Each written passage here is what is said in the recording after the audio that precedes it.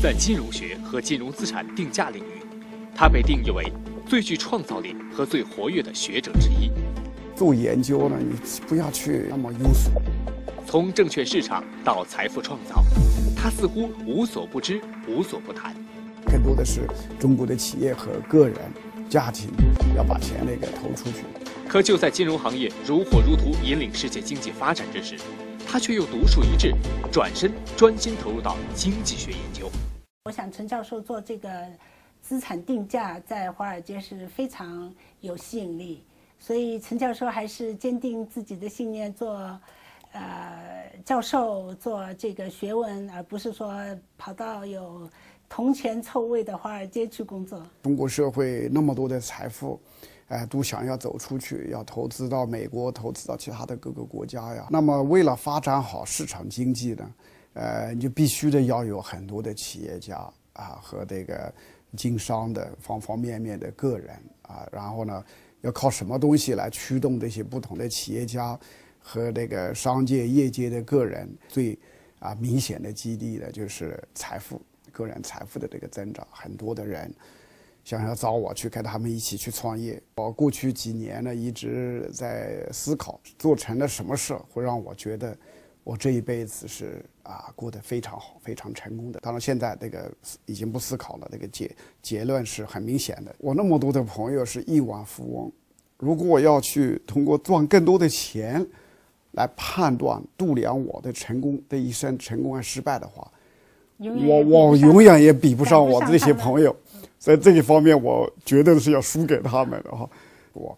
更想呢把更多的精力呢全力以赴去。啊，推动那个啊，我喜欢的那个量化历史研究，啊，然后呢，用那些金融啊和经济学的那些视角，啊，这个分析框架和研究方法呢，来研究中国的历史、社会的变迁，还有很多其他的国家的那个社会变迁的这些话题。我记得您那个时候，二零也是一一二年，就前瞻性的指出，这个人民币有贬值的可能。按照汇率来看的话，人民币跟美元比。变化不是那么大啊，或者变化有一些，但是呢，呃，远远比那个我们在现实生活中，在美国和中国之间感受到的那个人民币购买力的下降的幅度啊，哈，也显然是啊，那个要要少很多。所以这也是告诉我们，接着下来人民币贬值的这个空间啊，这个压力也会非常大的。这个时候，在在投资安排上面，更多的是中国的企业和个人。家庭要把钱那个投出去。从金融学到社会学，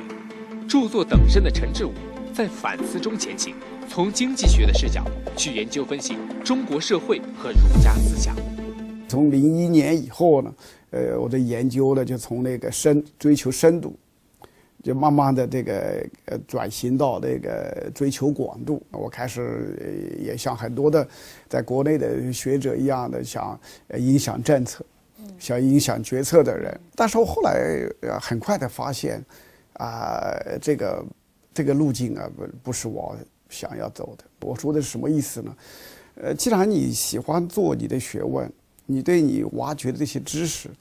啊，你感到很自豪、很有兴趣的话，啊，那么你不要变成为这个，你把你的这些想法、这些研究成果。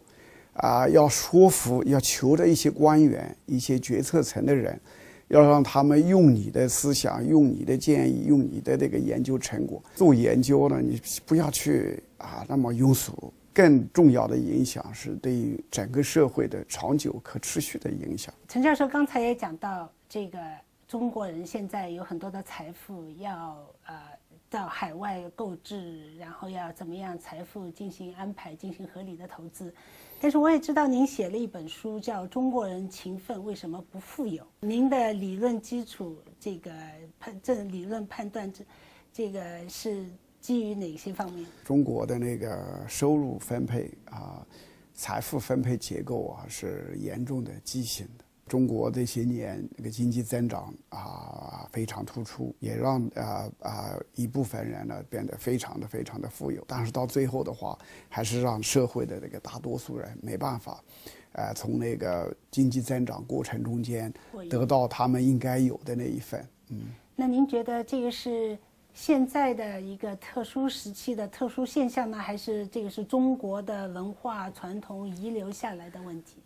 都这些原因都都有呀，因为因为那个体制肯定是唱主角的。中国社会就是关系社会，谁最有关系？就已经是那个富贵的人、权贵的人、精英阶层的人，也跟那个呃中国人历来引以为自豪的那个啊儒家文化的方方面面也有很大的关系。儒家文化呃在两千多年啊、出现啊是有它的道理的。六七十年以前的中国社会，啊、可能总体上呢货币化的程度很低的，就使得中国社会在原来不太可能，呃，在金融市场、在货币化这些方面，啊、做的太多。儒家之所以这个通过三纲五常，把整个中国社会的每一个人，都给他固定在一个位置上面，他就是以这种规范固化每一个人在社会中的那个所处的位置啊，哈。以这个方式呢，对中国社会的资源怎么样配置啊，首先起了一个决定性的作用。您觉得如果要改变现在这样一些那么多的问题的话，应该从哪里着手？体制改革加市场经济。如果你喜欢，呃，看到了一个社会是充满了公平、公正和平等的一个社会的话，那么那个社会应该是啊，这个高度货币化的社会。由陈志武看来，在儒家思想统治中国的时代，家庭婚姻也是一场经济抗衡。在原来物质生产能力很低，市场非常欠发达，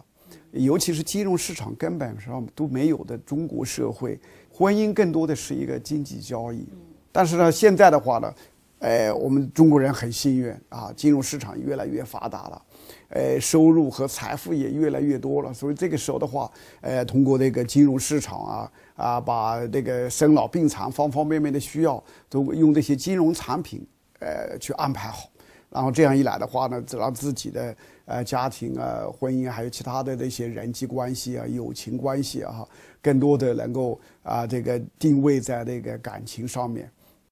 从湖南到美国康涅狄格州。从农民出身到耶鲁大学正教授，陈志武一路走来，从不人云亦云、随波逐流，而是一直追随本心。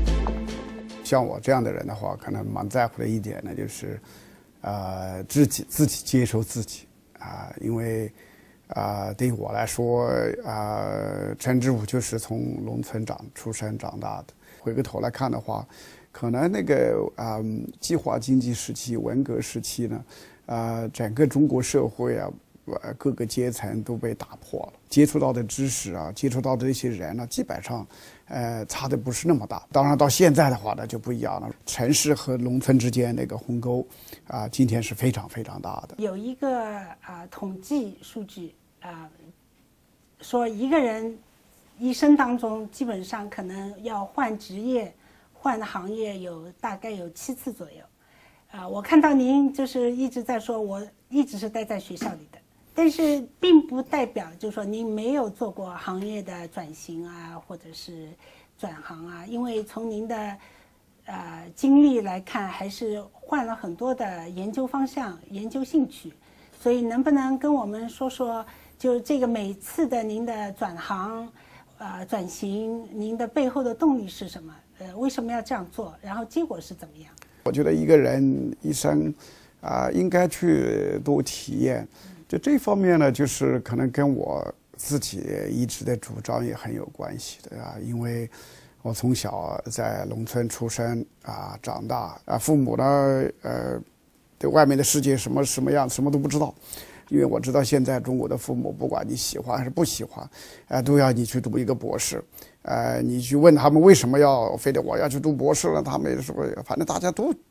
让自己的子女去读博士，所以你也要去读，而不是去先问你哈，呃，或者呃你自己到底是对于工作感兴趣了，还是去读书感兴趣了？所以，呃，在我的那个成长的过程中间，呃，我我父母给我百分之百的自由。啊，就完全自己去尝，自己去摸索。尤其是我这么多年的经历下来，让我感觉到人的一生的幸福和满足和不满足啊，哈，呃，不是由这个结果来决定的，而是由这个追求你的呃兴趣、追求你的目标的过程来决定的。